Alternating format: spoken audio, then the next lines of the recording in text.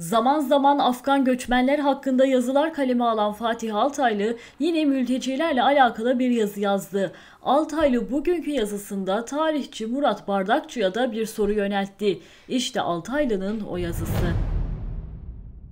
Kontrolsüz göçmen akınının toplum üzerindeki etkisi giderek artıyor.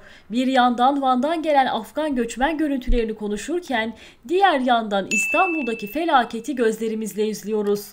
Dahası göçmenler misafirlikten Yavuz hırsızlık moduna geçtiler bile. Türkiye'de hangi yasal hakla bulunduğunu bilmediğim bir Afgan sosyal medya hesabından Türkiye'ye, Türklere, Türk kadınlarına hakaretler yağdırıyordu. Tipik bir Yüz verirsin deliye gider sıçar halıya durumu yani. Afganistan'dan karısını kızını bırakıp kaçan bir itten ders alıyoruz anlayacağınız. Diğer yandan da İstanbul istila altında bir şehir görüntüsünü giderek pekiştiriyor. Dün İstanbul'un Anadolu yakasında bir arkadaşıma gitmem gerekiyordu ve Kızıl Toprak'tan Kartal'a kadar uzanan sahil yolunu kullandım. Yemin ediyorum Türkiye'deyim, İstanbul'dayım demeye bin şahit bile yetmezdi. Gözlerime inanamadım. Burası bizim İstanbul'umuz mu dedim. Gözünüzle siz de görün diye fotoğraflar paylaşıyorum sizinle. Aynı fotoğrafları hatta beterlerini Avrupa yakasındaki tüm sahillerde can kurtarandan başlayıp Bakırköy'de, Ataköy'de, Yeşilköy'de, Yeşilyurt'ta Florya'da çekebilirsiniz.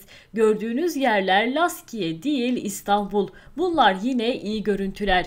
Başka yerlerde bir felaketin eli kulağında. İki günde iki taciz iddiası ve göçmenlere yönelik linç girişimi oldu. Resmi görüşü olarak göçmenleri savunan Murat Bardakçı dostuma sormak isterim.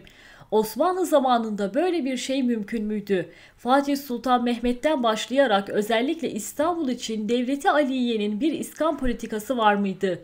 2 milyon Suriyeli, hadi 2 milyonu geçtim 500 bin Suriyeli Osmanlı vatandaşı canları çekince kalkıp İstanbul'a gelip yerleşebilir miydi? Hele ki imparatorluğun güçlü zamanlarında böyle bir şey mümkün müydü Murat?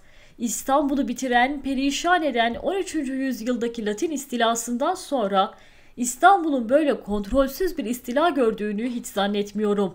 Osmanlı'nın da buna izin vermeyeceğinden eminim ve siz de emin olun ki İstanbul'a ve Osmanlı'nın mirasına sahip çıkmak zaten bizim olan Ayasofya'yı ibadete açmakla olmuyor. Onların emaneti olan kentleri korumakla oluyor ve Murat gayet iyi bilirsin ki İstanbul'u bitiren Latin istilasıydı.